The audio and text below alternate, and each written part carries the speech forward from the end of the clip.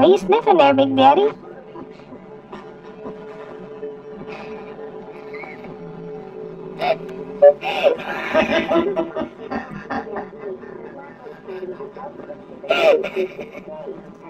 Ooh, that's a Ricky stuff.